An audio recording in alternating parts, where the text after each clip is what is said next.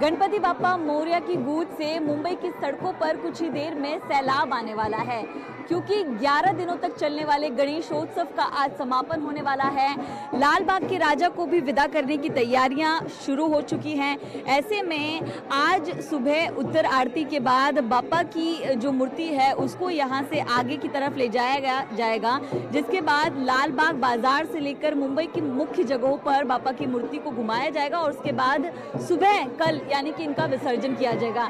ऐसे में गणपति बापा की मूर्ति को आप देख सकते हैं कि उनके जो तमाम सोने के आभूषण होते हैं, उनको निकाला जा रहा है क्योंकि विसर्जन के दौरान आभूषणों को नहीं रखा जा सकता। उसके साथ साथ जब गणपति बापा की विदाई शुरू होगी तो इस तरह के जो नोट से बने हुए हार हैं, दुर्वा यानी कि धूप से बने हुए, जो फूल से बने हुए हार हैं, वो उनको पहनाते जाएँगे। तो ये एक खूबसूरत तस्वीर लालबाग की गली में नज़र आती है। आमतौर पर यहाँ पर काफ़ी ज़्यादा भीड़ देखने मिलती है, लेकिन गणपति बापा की विदाई होने वाली है तो उसको लेकर तमाम तैयारियाँ भी शुरू हो गई हैं। लालबाग के बाज़ार की एक बार फिर से तस्वीर दिखाएँ।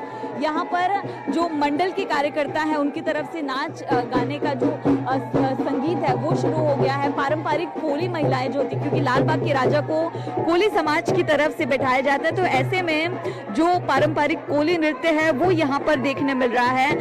कुछ ही घंटों की बात है, जिसके बाद गणपति बापा की विदाई की जाएगी।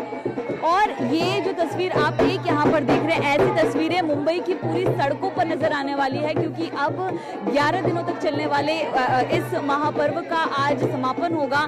अगले बरस जल्दी आके साथ गणपति पापा को विदाई दी जाएगी। इस पूरी गली में जो है गणपति बापा